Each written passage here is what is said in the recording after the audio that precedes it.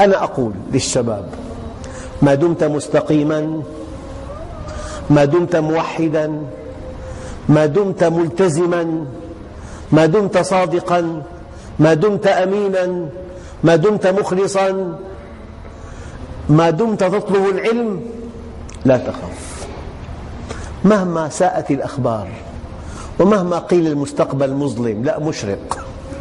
ومهما قيل هناك مؤامرة على المسلمين على مستوى الأرض. كلام بكلام. والله غالب على أمره ولكن أكثر الناس لا يعلمون. إخوة يوسف أقوياء أشداء أرادوا أن يموت وضعوه في البئر. ما الذي حصل؟ أنه أصبح عزيز مصر ودخلوا عليه وهم صاغرون. قالوا أئنك لأنت يوسف؟ قال أنا يوسف.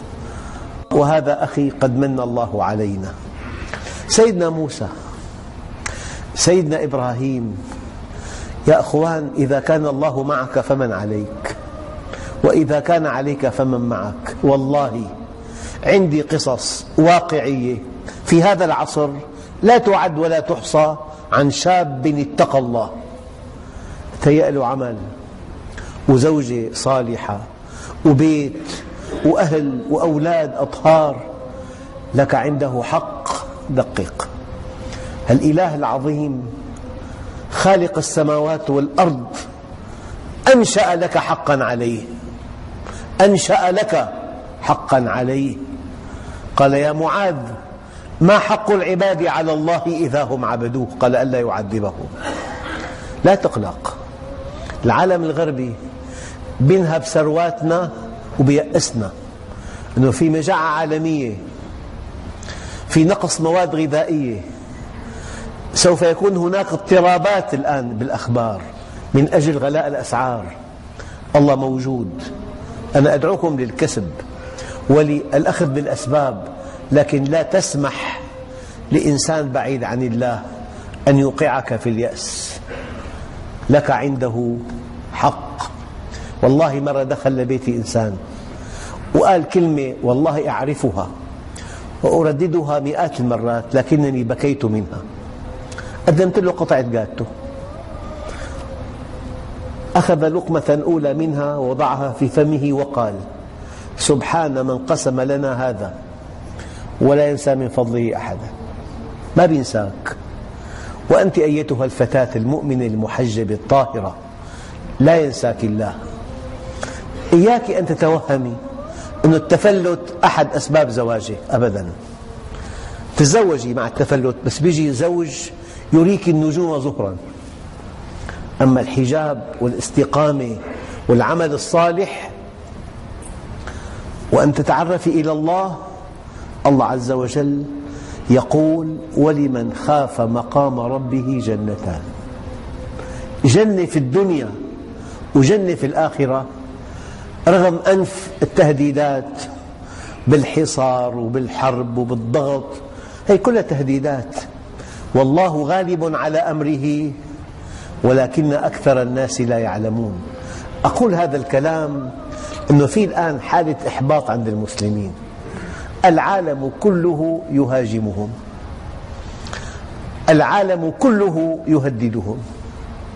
يعني ذئب التقى مع حمل بحمام. حمام في بلاط وماء قال له عم تغبر علي. قال له تعال كلني وخلصني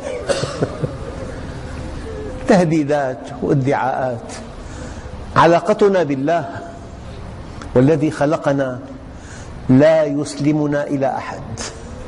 لأنه إلهنا وربنا. دقق في هذه الآية. بل الله فاعبد وكن من الشاكرين. بس عليك أن تطيعه وانتظر الخير وبعدها اشكره على هذا الخير. علق أملك بالله اتق الله اعقد الأمل على الله توكل على الله. عليك أن تستقيم على أمره وانتهت مهمتك وعلى الله الباقي. دبر ألا تدبر. يا رب طالبتني بالطاعة أنا أطيعك. طالبتني بضبط اللسان أضبط لساني. طالبتني بالصدق أنا أصدق إن شاء الله. طالبتني أن أكون أمينا أنا أمين إن شاء الله. هذا الذي علي والباقي عليك. فهذا الإيمان يعطي راحة للنفس. أما القلق وسماع التهديدات تارة حصار وتارة هجوم وتارة عزل وتارة نقص مواد وتارة ارتفاع أسعار فوق طاقتنا الأخبار هذه يجب أن نوحد. يعني بشكل أو بآخر أنت مع مين؟ هل تعلم أنت مع من؟ مع خالق السماوات والأرض. يعني أيام بيكون واحد يعني سائق وزير بيمشي بالعرض. أنا بحكي للوزير. سائق وزير بيمشي بالعرض. ولسانه طويل بيصير وبيهدد وبيتوعد. أيام بيكون موظف بالخارجية لك عيننا فلان سفير أنت مين؟ لك أنت مستخدم بالوزارة بعد حاله جزء منا عيننا فلان سفير بيقول لك مين أنت؟ يعني الإنسان بينتمي أو بيعتز بمن ينتمي إليه أنت كمؤمن أنت مع من؟ أنت كمؤمن أنت مع من؟ مع خالق السماوات والأرض